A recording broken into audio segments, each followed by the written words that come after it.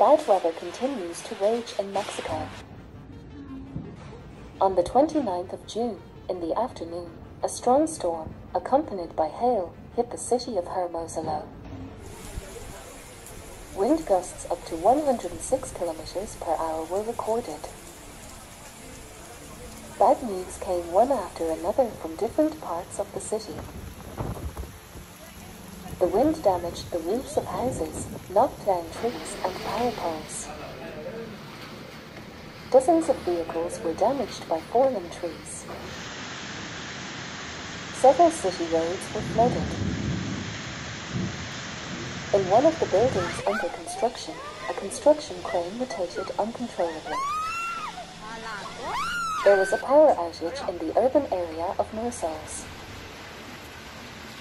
In total, the Municipal Office for Civil Protection responded to 90 emergency reports. Fortunately, there were no casualties. Hermosillo is a city in northwestern Mexico, the capital of the state of Sonora. The population is 855,500 people.